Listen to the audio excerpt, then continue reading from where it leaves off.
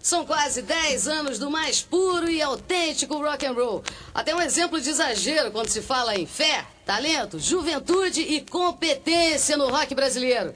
Essa banda sempre deu show de ousadia e show de sinceridade nas letras das suas músicas. E sua todas as camisas quando o papo é show ao vivo.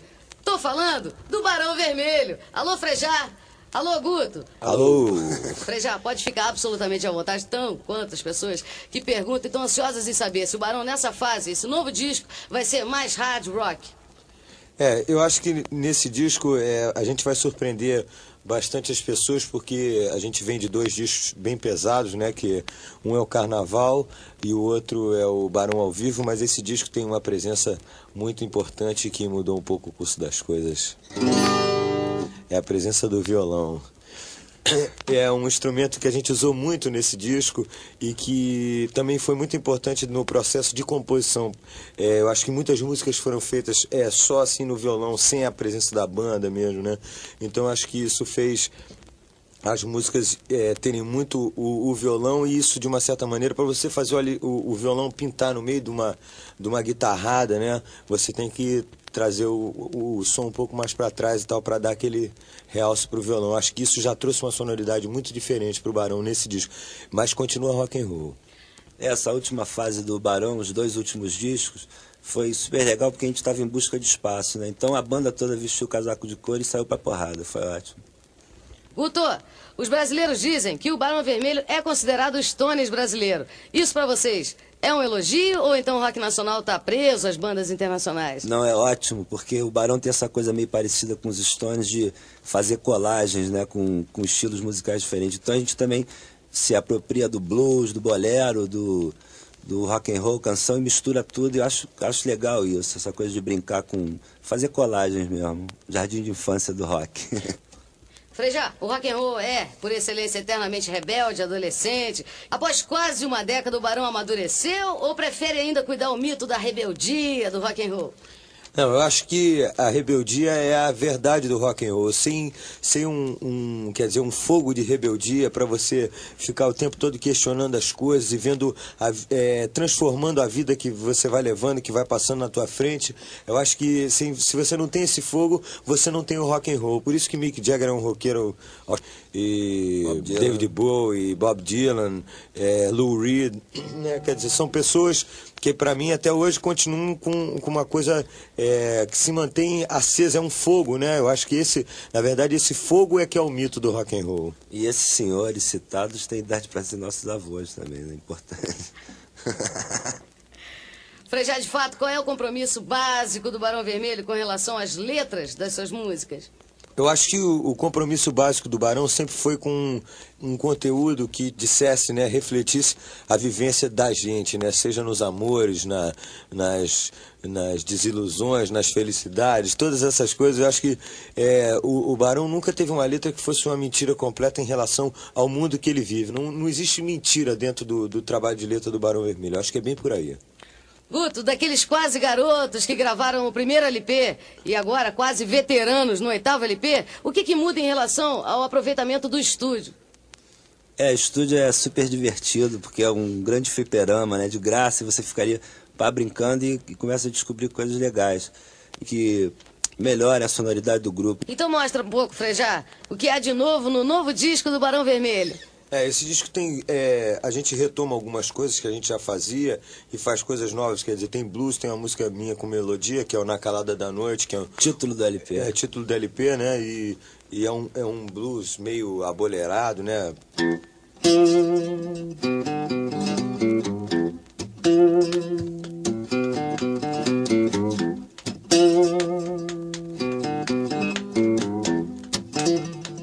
E tem coisas mais tipo como é, canções assim bem singelas mesmo, né?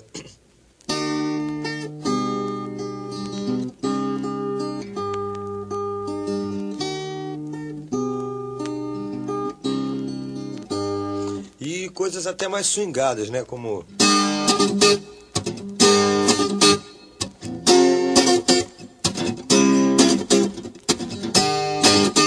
Você vê que é tudo basicamente com violão, mas é, são swings completos, são universos musicais completamente diferentes, né?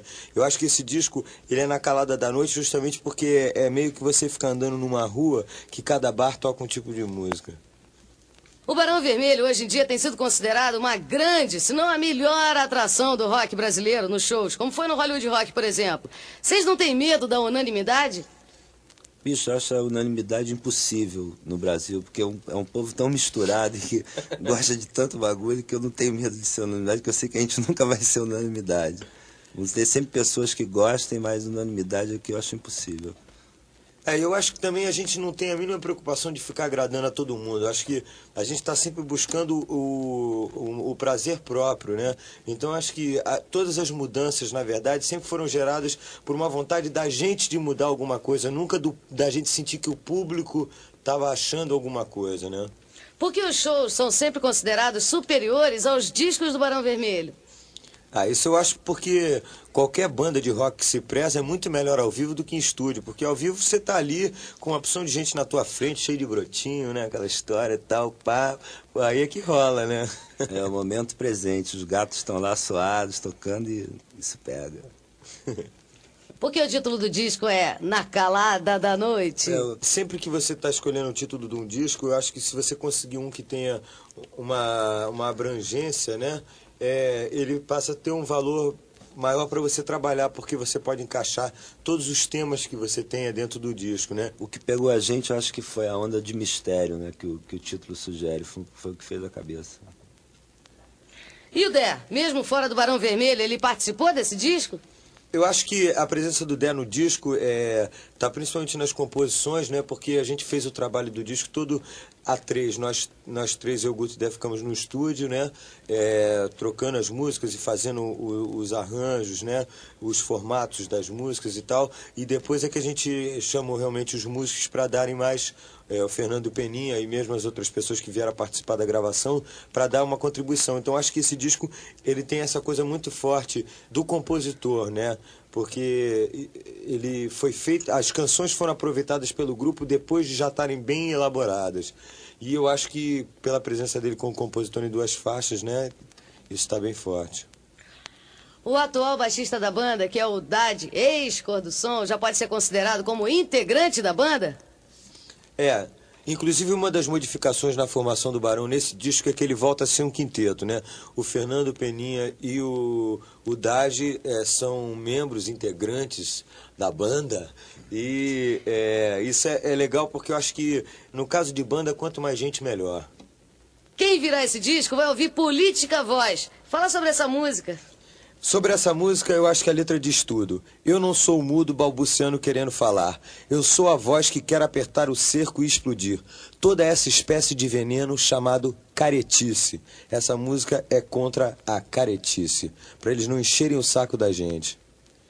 Bom, gente, isso aí é só o começo. Vire rapidinho o seu disco e ouça Política Voz, o novo pancadão do Barão, que está em Na Calada da Noite, seu oitavo LP. Obrigado, Frejá. Obrigada, Guto. Valeu, Barão!